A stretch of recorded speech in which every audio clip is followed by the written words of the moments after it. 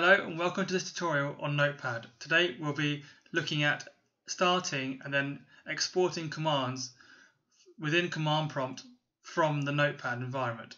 And I'll be using the classic Notepad, not Notepad++ for this. So first thing I'm going to do is write our code and then we're going to save it as a batch file so that it can run command prompt and open it. So let's start. So I've made the text bigger so you can see it. So first thing I'm going to do is type start and then cmd.exe. Remember to have the extensions onto the end.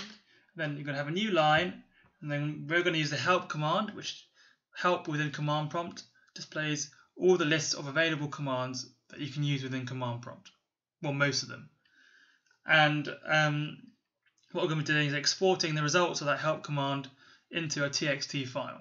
So let's just do that. So we've got start cmd.exe.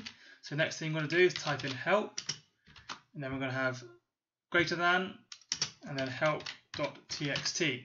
And this will um, get the help command and then convert it into a txt file.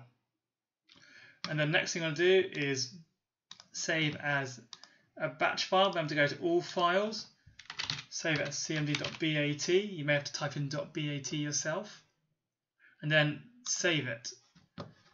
Next thing you're going to do is go to the file, and you simply just click on it. Just click on it like this, and it will run. And notice it went very, very quickly here in command prompt. And then notice also that help.txt file appeared. And this is it. This is the output. So it went very quickly into command prompt and then printed it into txt file. All very, very quickly.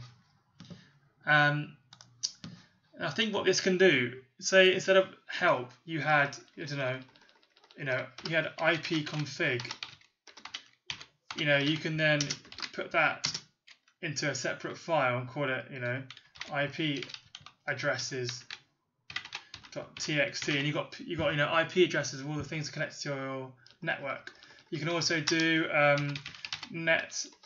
If my n works, net uh, WLAN show profile, and then you type in.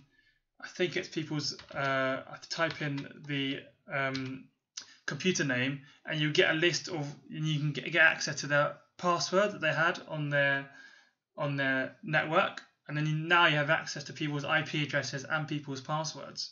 So and then you can export that to a txt file. So you know it's a very powerful tool. And um, yeah really great thing to do as well. Um, one of the things I'll be doing later on is how to auto run from notepad as well though some systems have now had this disabled, this ability to, this ability to do that disabled. So it may work for me, may not work for me. I have yet to find out, but it also it may not work for me, it may work for you, or vice versa. So we'll see. But um, I hope you enjoyed that tutorial, and I'll be doing lots more on Notepad, and I've got lots more on Python available. In fact, I do a very similar thing in Python where I start command prompt, and then you can do exactly the same thing I did with Notepad, but in the Python environment as well. And um, yeah, subscribe if you like it, and don't forget to share it as well. Thanks very much for watching.